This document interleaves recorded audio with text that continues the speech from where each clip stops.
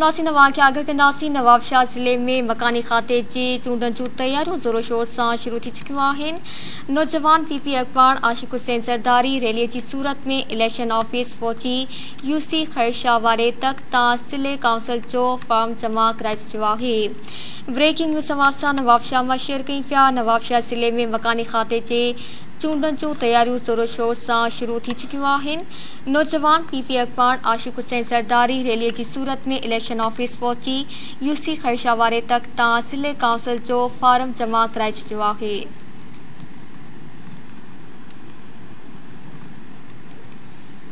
नवाबशाह ज़िले में मकानी खाते के चूडन जो तैयारियों ज़ोरो शोर से शुरू थी चुकियूं आहिनि नौजवान पीपी अखबार आशिक हुसैन सरदारी रैली की सूरत में इलेक्शन ऑफिस पहुंची यूसी ख़र्शा वारे तक तिले काउंसिल जो फार्म जमा कराए छॾियो आहे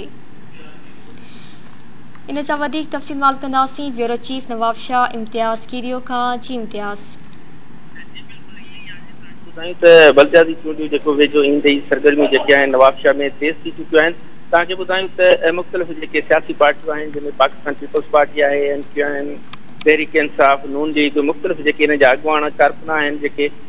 फार्मूं वठी बलदारी इलेक्शन जे हवाले सां चूंडी सरगर्मियूं तेज़ थी वियूं आहिनि तव्हांखे ॿुधायूं त पाकिस्तान पीपल्स पार्टी जी आला क़ियादत जेकी आहे उन नौजवान अॻवण आशिफ़ हुसैन ज़रदारी ते एतमाद करे उनखे टिकट ॾिनी आहे तव्हांखे ॿुधायूं त जेकी यू सी खेरशाह आहे उनजे तक तां उहो पाण इलेक्शन विढ़ंदा उन मौक़े ते पाण जॾहिं फार्म आर ओ वटि जमा करणु आया त तव्हांखे ॿुधाईंदा हलूं पाकिस्तान पीपल्स पार्टी जे जलनि सां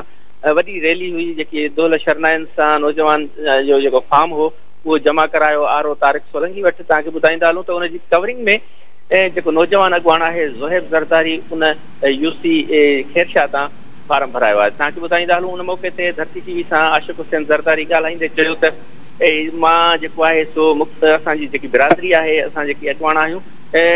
आवाम जी ख़िदमत करे रहिया आहियूं पर जेकी आवाम जेकी एतमाद कयो आहे ऐं उनजो हाल करण जे लाइ मां पूरी महिनत कंदुसि ऐं आवाम जी ख़िदमत कंदसि ऐं मां सम्झा थो त बिना मुक़ाबले जेको आहे सो हिन तक तां